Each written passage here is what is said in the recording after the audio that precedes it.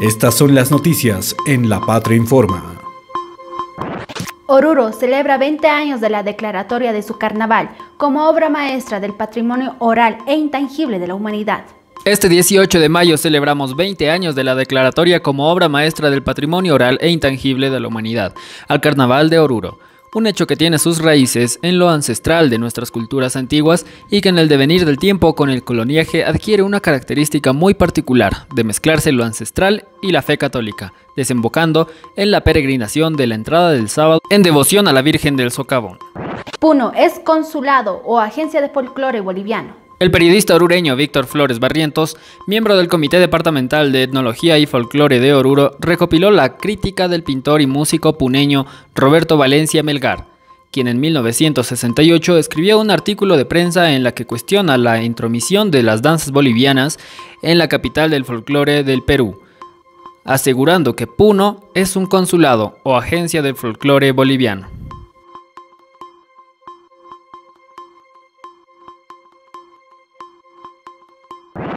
Bebé recién nacido es hallado muerto cerca de la carretera de Bermejo Tarija. Hallan a un bebé recién nacido sin vida en la comunidad de El 9, en el departamento de Tarija. Un civil que vivía en el sector vio que un grupo de perros encontraron el cuerpo del pequeño el lunes 17 de mayo. El ciudadano llamó al instante a la policía.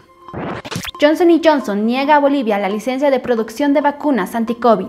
El Estado opta por la licencia obligatoria. La farmacéutica Johnson Johnson negó la licencia voluntaria para la producción de vacunas contra el COVID-19 al gobierno boliviano. Por lo tanto, el Estado optará por la solicitud de licencia obligatoria, anunció este martes el viceministro de Comercio Exterior Benjamín Blanco. Aprenden a ex jefe policial de DIPROVE y ex presentadora de televisión por asociación delictuosa. Después de la denuncia de un ciudadano de la zona sur de La Paz, que indicó haber sido interceptado en el 2020 por dos personas vestidas con indumentaria del Grupo de Apoyo Civil a la Policía GACIP, fue aprendido el lunes 17 de mayo el ex jefe de la Dirección de Investigación y Prevención de Robo de Vehículos DIPROVE, el coronel Gustavo D.T. Dirigentes históricos anuncian organizar un bloque de resistencia contra Evo. Los residentes históricos del sindicalismo nacional anunciaron este martes organizar un bloque de resistencia social con el objetivo de impedir que el exmandatario Evo Morales regrese al poder y evitar que el país se divida más de lo que está. Hospitales de Potosí comienzan a colapsar por el incremento de casos de COVID-19. Los centros de salud del departamento de Potosí comenzaron a colapsar este martes por el incremento masivo de casos a causa del COVID-19. Asimismo, son dos niños que están internados infectados por el coronavirus, según reportó el Servicio Departamental de Salud de esa región. Alcalde de La Paz anuncia que pagará la deuda que su antecesor dejó al municipio con EMAPA. El alcalde de La Paz, Iván Arias, anunció este martes que asumirá la deuda de 37.110.403 bolivianos que su antecesor Luis Revilla dejó al municipio con la empresa de apoyo a la producción de alimentos EMAPA y otros pagos. Tiembla uno de los rascacielos más altos de China. No se registró ninguna actividad sísmica. Uno de los rascacielos más altos de China fue evacuado debido a que la infraestructura temblaba.